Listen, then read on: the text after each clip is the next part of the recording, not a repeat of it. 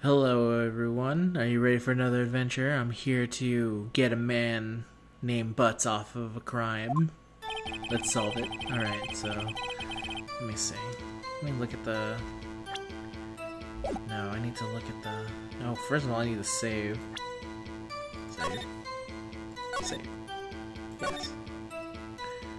Alright, let's go back. Go back. Uh.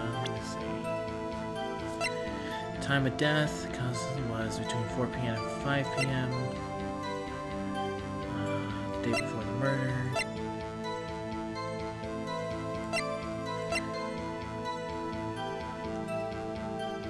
The day before the murder. 4 p.m. to 5 p.m.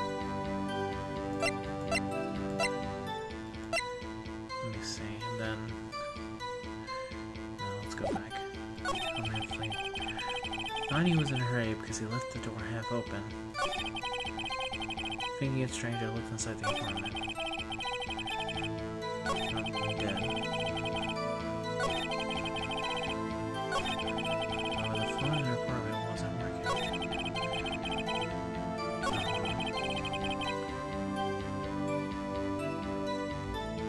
No. Because she was dead at. No, where is she? Think it's right here. She literally is dead between 4 p.m. Time of death was 4 p.m. to 5 p.m. and he found her at 1 p.m. So that's impossible. You found the body at 1 p.m.? You're sure? Yes, it was 1 p.m. for certain. Frankly, I find that hard to believe. This is also very good music. Your statement directly contradicts the autopsy report. Autopsy notes the same death happened sometime after 4 p.m. There was nobody to where no body to find at no 1 p.m. How do you explain the three hour gap? Oh, that. Oh, er. This is trivial. The witness merely forgot the time. After his testimony, I find that hard to believe. Mr. Sawit. Why were you so certain that you found the body at 1 p.m.? Er, well, I. Gee, that's a really good question. Great job, right? Way to put him on the spot. It's all you have to do. Point out contradictions. Lies always beget more lies. See through one, and their whole story falls apart. Wait, I remember now. Would you care to give your testimony again?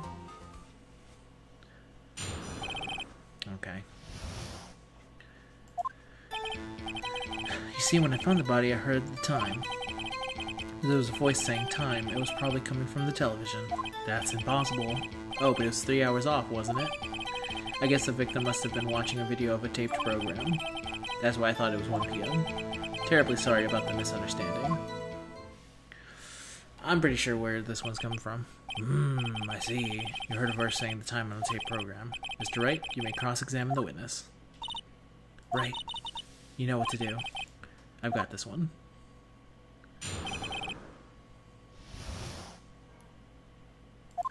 Okay, first, let me save.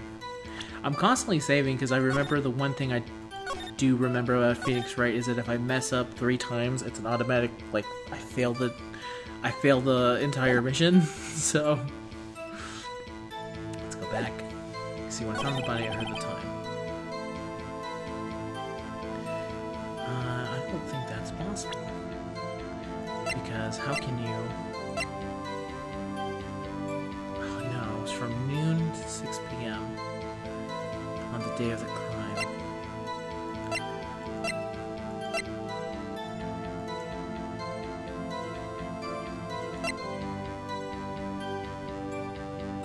Yeah, yeah, yeah. This has to be it. Hold it right there. The prosecution has said there was a blackout at the time of the discovery. This record proves it. You couldn't have heard a television or a video. Yeah. Well, uh, the defense has a point. Do you have an explanation for this, Mr. Sod? No, I find it quite puzzling myself, quite. Wait, I remember now. Mr. Solid, court would prefer to hear an accurate testimony from the very beginning. These constant corrections are harming your credibility. Really, the guy whose like wig is flipping out all the time is uncredible, Your Honor? Really? You seem rather distraught. My apologies, Your Honor. It uh, must have been a shock finding the body. Very well, Mr. Solid. Let's hear your testimony one more time, please. This guy's gonna fucking go down, watch, hearing the time. Actually, I didn't hear the time, I saw it. There was a table clock at the apartment, wasn't there? Yeah, the murder weapon. Uh, the killer used it to hit the victim. That must have been what I saw. You saw a clock. I guess that would explain it. The defense may cross-examine the witness. Gladly.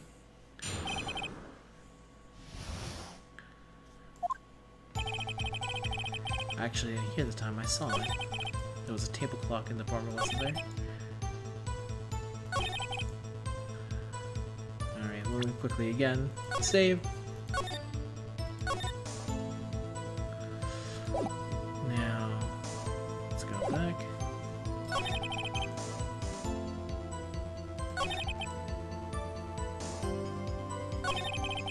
Now, I'm pretty sure.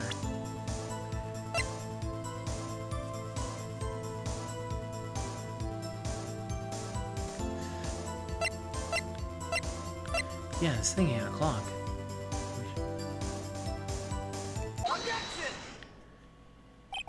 Wait just a minute. Moment. The murder weapon wasn't a clock. It was a statue. Now how is it supposed to be a clock? You with your objections and your evidence. Just who do you think you are? Just answer the question, Mr. Sawit. Hey, I, I saw it there, okay? That's a clock. Your Honor, if I may.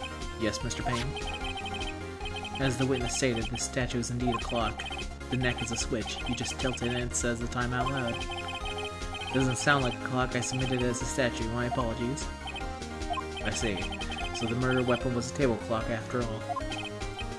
Well, Mr. Wright, appears that the witness testimony was correct. That is a clock. Do you have any problems with this testimony now? Yeah, dude. Your Honor, there's a gaping hole in the witness testimony. The only way he could have known the weapon was a clock is to hold it in his hand. Yet the witness testifies that he never entered the apartment. Clearly a contradiction. Hmm, indeed. The witness knew it was a clock because he went into the apartment. You're lying. You were inside the apartment on the day of the murder. Oh yeah? Prove it. Prove I went in there.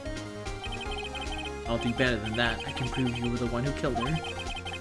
Struck her with the clock, and the shock of the blow triggered the clock's voice. That was the sound you heard. Order in the court. Intriguing. Please continue, Mr. Wright. Yes, Your Honor. Mr. Sawit. The sound must have left quite an impression on you. Understandable, since the murder weapon spoke just as you hit the victim. The voice was burned into your mind. That's why you were so certain about the time. What, what's the meaning of this? This is all baseless, baseless conjecture. Baseless? Just look at the witness's face. Look at this man. Looking like a white Dawson. Would the witness care to elaborate? Did you strike the victim with the clock? I, I, that day, I never. Look, I, the clock, I heard. No, wait, I mean, I saw, saw. Mm.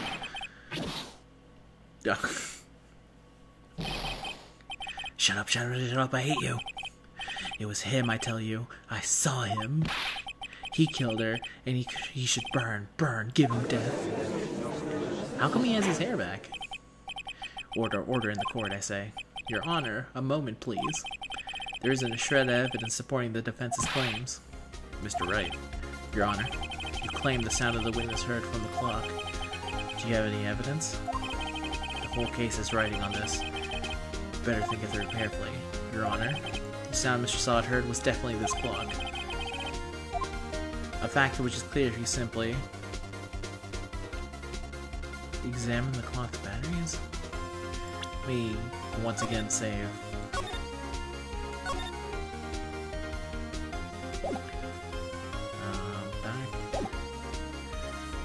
Don't think it's asked the neighbors. Try sounding the alarm. Here in this court. Your Honor, may I have this clock? I ask the court to listen very carefully. Beep.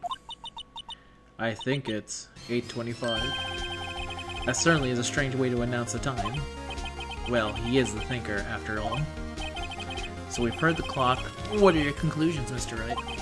Mr. Payne, can you tell me what time it is now? It's 11.25. Eh.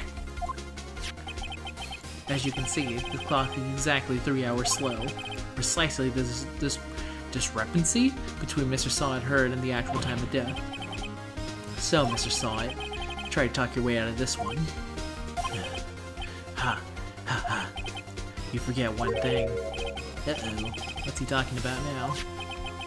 While it may seem like the clock is running three hours slow, it proves nothing. How do you know it's three running? How do you know it's running three hours slow on the day of the murder? If you can't prove that, you don't have a case. He's right. How am I going to prove that? Damn it, I was so close. Mr. Wright, it seems you lack the critical evidence to support your claim. Yes, Your Honor. This means I cannot let you indict the witness. Unfortunately, this ends the con- Wow, really? I came all the way down here to testify and look what happens. You treat me like a criminal. Criminal, your lawyers are all slime. Grr, I almost had him. Sorry, Larry, I failed you. There's nothing I can do about it now. Not so fast, Mr. Sawit. Mia, I mean Chief. Listen up, right? Don't throw this one away. Not like this. Think. But Chief, it's over. I can't prove the clock was slow the day of the murder. Nobody can prove that. Um, well yes. That doesn't mean you can still win. Try thinking out of the box. Don't waste time doubting the facts. Assume the clock was three hours slow and think through it. Ask yourself, why was the clock three hours slow? Figure out the reason, you'll have your proof. Right, right? Can you think of a reason as to why the clock would be three hours slow? Yes. Wait, maybe I can prove it. You must have evidence somewhere you can prove it, right? Find it and let them have it. You say the clock was running slow on the day of the murder. Have you found the evidence to support this claim? Of course. There is a piece of evidence in the court record that can prove my claim being without a doubt. Ha, tough word. Let's see you pull this one off. Let's see this evidence that proves the clock was running slow.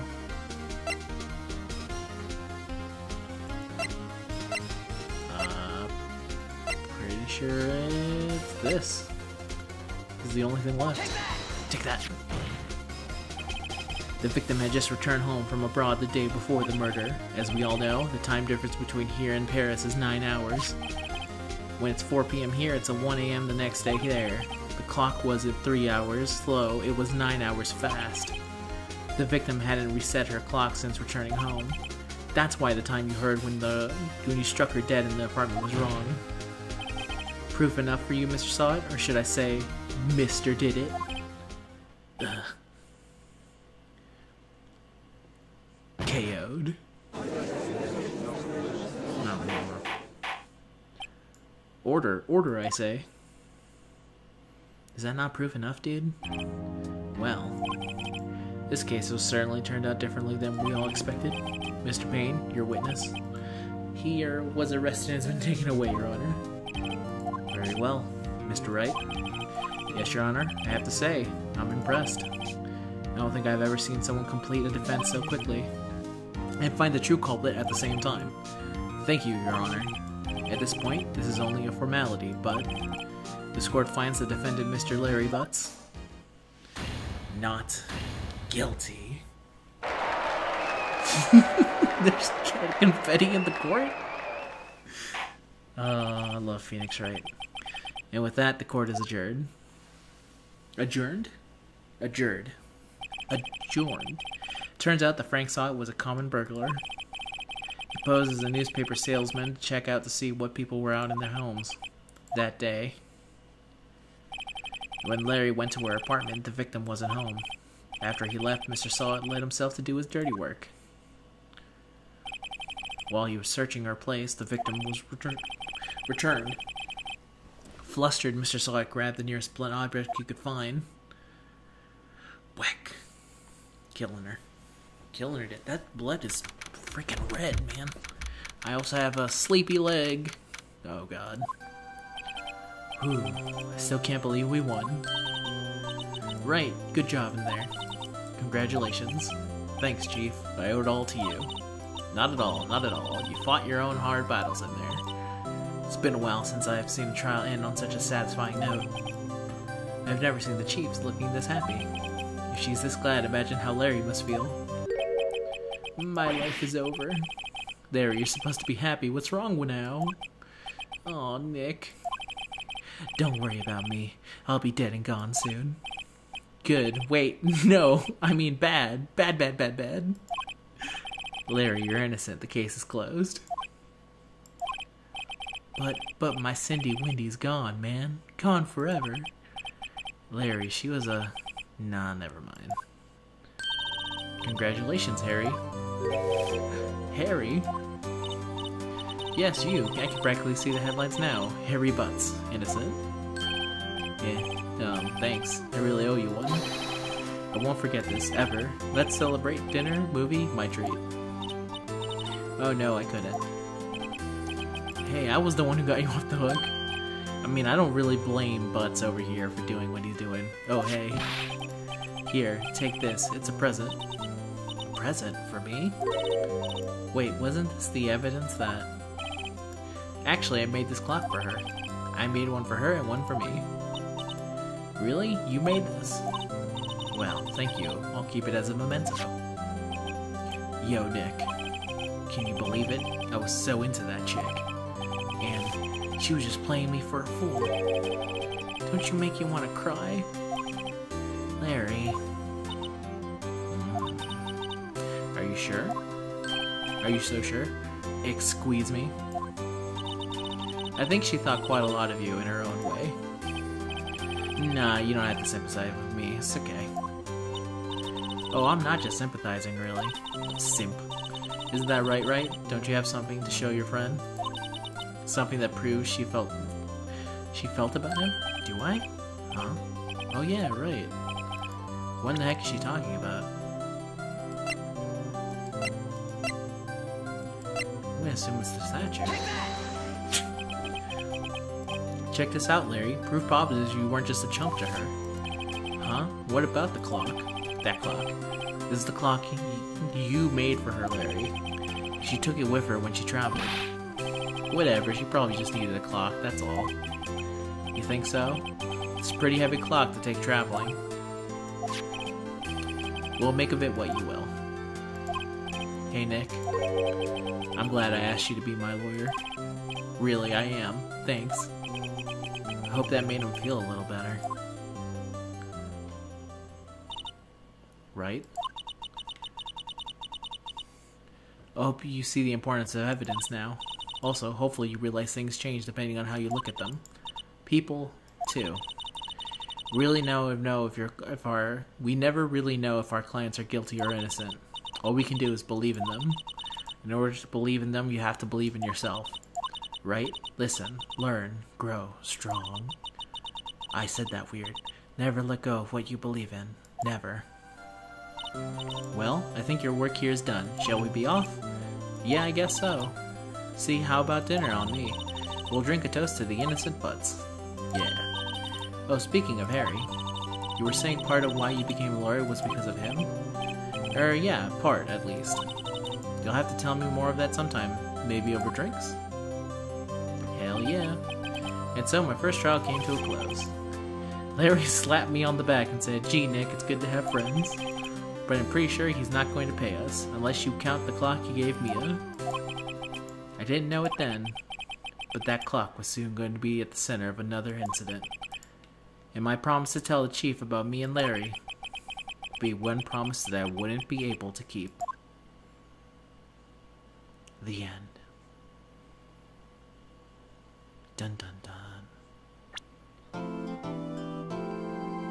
Brand new episode has been added. Saving content? Yes. Yep. Alright, and that's it for Phoenix Wright. I hope you enjoyed this quick diversion away from gotcha games.